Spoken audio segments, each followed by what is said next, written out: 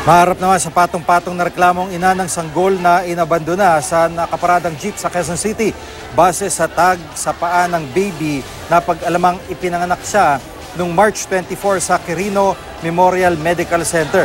Sa tulong ng impormasyong ito, nag-imbisiga mga taga-barangay San Roque, Quezon City. Ayon sa ospital, nasa edad 30 ang ina ng sanggol. Bukod sa kanya, hinahanap din ang dalawang lalaking sakay ng e-bike at nag-iwan sa sanggol sa loob ng jeep.